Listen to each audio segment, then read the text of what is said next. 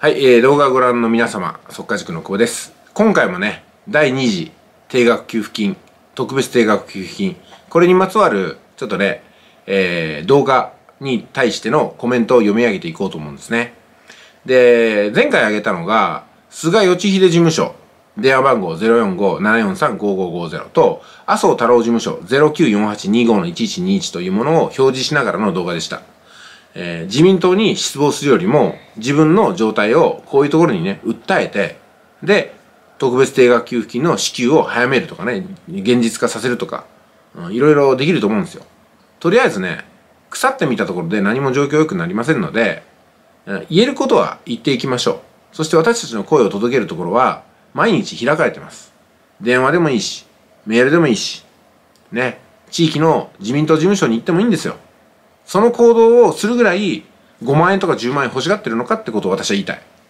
ほとんどの方がなんとなく欲しいなと思いながら、いただくための行動をしてない。そして、権力者に対して心の中でね、毒づいてるだけっていうのが関の山なんじゃないかなと思うんですよね。そうではなくて、まあできることはやっていきましょうよ。ね、皆さん状態が悪いでしょ。で、5万円、10万円、どうしても欲しいでしょ。じゃあどうしても欲しいって行動がないんじゃないかなと思うんですよ。ですんで私はね、ちょっと口うるさいかもしれませんけど、説教じみって申し訳ないんですけども、この動画を作り続けて、声を上げましょうと。官邸にメールしましょうと。事務所に電話していきましょうと。もう事務所にね、訪問しましょうみたいなことね、申し上げるんですよ。私みたいにね、YouTube をたくさん作ってくださる方もいます。うん。それは非常にね、援護射撃としてありがたいと思いますし、そういうふうな形で声を上げる方がね、増えていくのは、うん、まさにね、特別定額給付金なり、来年度の予算なりをね、まあ、感染症対策に振り向けていく私たち国民とか飲食店店舗とかね中小企業零細企業のために給付する助成金補助金につながると思って非常にいい動きだと思うんですよ。でもまだまだ声足んないです。ね。1万人10万人100万人1000万人が声を上げないと変わらないです。このままでは全然ダメです。このままでは麻生さんが言ったように今緊急事態宣言中じゃないからねっていうのが実現しちゃいますよ。だからいや緊急事態ですよ、国民は。毎日。あなたが緊急事態宣言出してないだけで、私たちは崖っぷちなんですよ、と。これを見ろって感じでね、どんどん現実を突きつけていただければいいんじゃないかなと思います。はい。前向きを長くなりましたけどもね、えー、今回動画のコメントを読まさせていただきます。画面切り替えますね。はい。これがね、菅義偉事務所麻生太郎事務所ですね。私、河野太郎事務所って言いました、さっき。ちょっと間違いですね。麻生太郎事務所、それぞれの電話番号ですね。で、コメントは17件寄せられています。えー、クリスタルソーダ、クリスタルソーダさんね。私たち国民を苦しめる奴なんかに絶対負けん。給付金は絶対支給してもらう。その意気です。もう本当にその通りですよね。こういう気持ちで皆さんね、もう分取っていきましょう。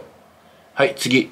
えー、ケイコ中川さん。コメントのお返事ありがとうございます。明日また菅さんの事務所に電話してみます。えー、長、長野県、フクロウカフェさん。ね。フクロウカフェ、長、あ、長野県のフクロウカフェさんって私ね、ちょっと伺ったような気がするんですけどね。中川恵子さん。はい。またお会いできる時まで、えー、お元気で。で、キーノマサカリさん。どうせ腐るならもっと腐ってる上の奴らに全部昭和してから破滅に追い込んでやるべきかも、みたいなこと書いてますね。いつもユニークなコメントありがとうございます。はい、次。自殺者が増えてるらしいです。えー、これはシラさんむやシラさんですね。テレビのニュースで見ました。いろんな事情があってお亡くなりになっていたのでしょうね。私はお金の不安から来る様々な苦しみはかなり大きいと思います。確かにそうですよね。経済的に人を救わない政治家はなぜ政治家になったのか早くお金を配ってください。一定定額給付金お願いします。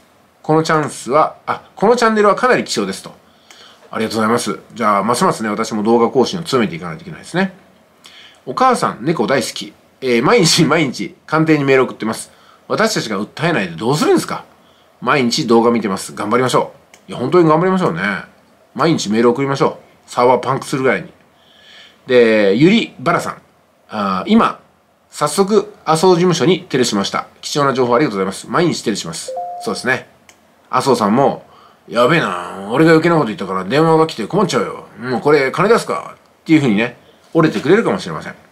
はい、次、まさかりさん。麻生太郎というよりは、アメンボ太郎介とでも言ってやるべきでは？ね、ユニークでしょ？はい、最後、ててさん。まだまだ厳しい生活を、強いられ、切実にお願いしたいということと、失業率、自殺者、妊娠届の大幅減少など少子化問題、え簡単なデータも送り、これだけ派生されますよ。ということを伝えました。できる限りのことをします。いや、具体的にね、そこまで伝えてくださってありがとうございます。国政は我々の国、我々のね、声で動くと思いますんで、これからも声を上げていきましょう。はい、以上だったんですけども、コメントを読むのって結構ね、読み違えちゃったりしますね。私が漢字弱いせいですかね。えー、これからも皆さんのコメントをお待ちしております。